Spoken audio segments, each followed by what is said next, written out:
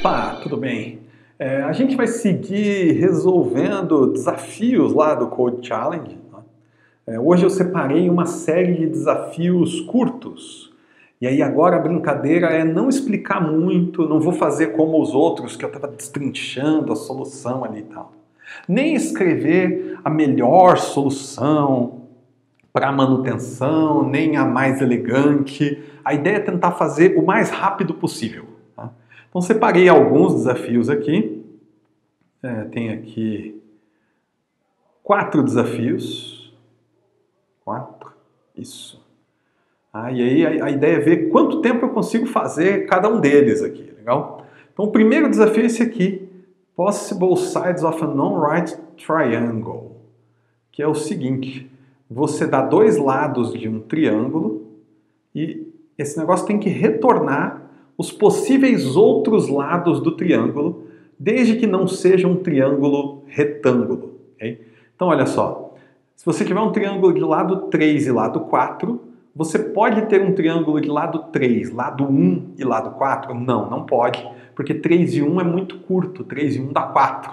Ah, então seu triângulo vai virar uma reta, não vai ter área interna. Então, o menor lado possível, inteiro, né? trabalhando só com inteiros, o menor lado possível aqui, então, seria 2. Okay? E o maior lado possível? O maior lado possível é 6, tá? Porque se você tiver um lado 7, 3 e 4 dá 7, e aí o seu lado 7 vai ser igual aos outros dois lados e também o seu triângulo vai virar uma reta.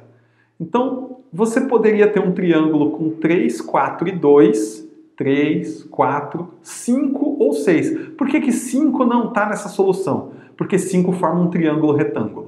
Aí como é que eu sei que é um triângulo retângulo? 3 ao quadrado é 9, 4 ao quadrado é 16, 9 mais 16 dá 25, que é 5 ao quadrado. Legal? Então a soma dos quadrados dos catetos é igual ao quadrado da hipotenusa. Você lembra disso? Você já ouviu isso alguma vez, né? Muito bem, então vamos lá. Vou tentar resolver esse aqui. Vamos ver quanto tempo leva. Né? Vamos ver quanto tempo a gente vai colocar um computador aí na tela valendo.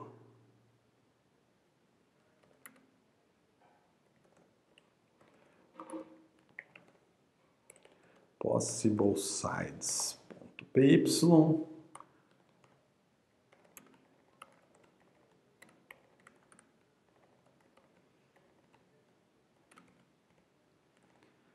Agora deixa eu pegar lá casos de teste, casos de teste. Aqui, casos de teste.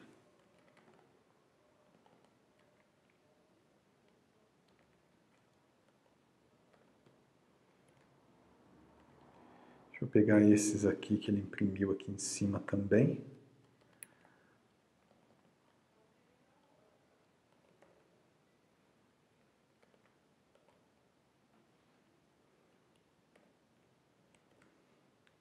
Eita, já vai dar um minuto como o tempo passa rápido, hein?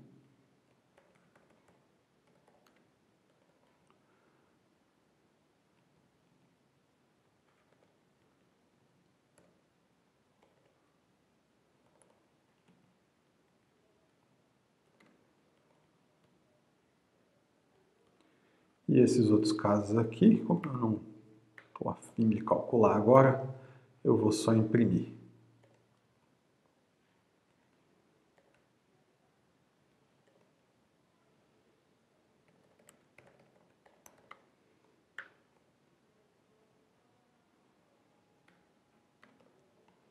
Então, sideline recebe A e B, e aí ele faz o seguinte, para a gente começar ele vai criar um range possible sides tende não? Range. Isso aí. Começando com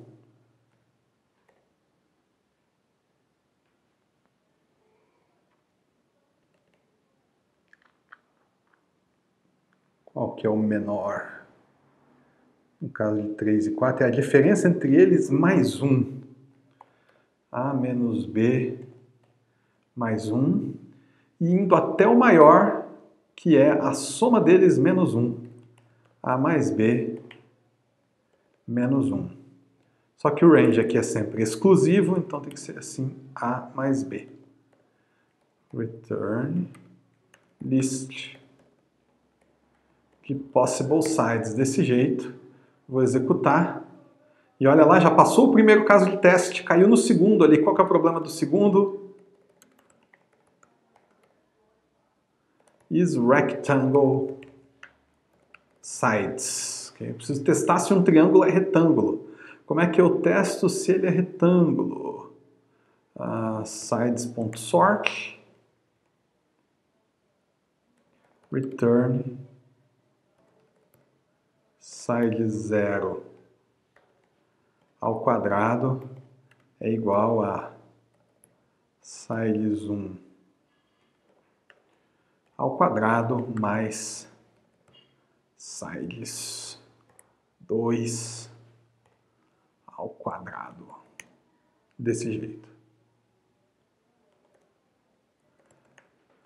Então, possible sides é igual a S for S in possible sides if not is rectangle A, B e S. Vou executar. O tuple object blá blá blá. Então vou transformar sides numa lista.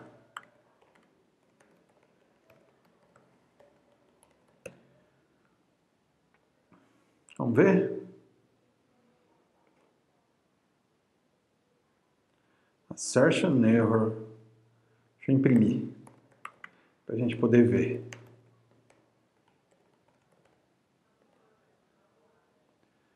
Eita, começou em zero. 4 e 6. Ah, tá. Aqui tem que ser absoluto. O número tem que ser positivo.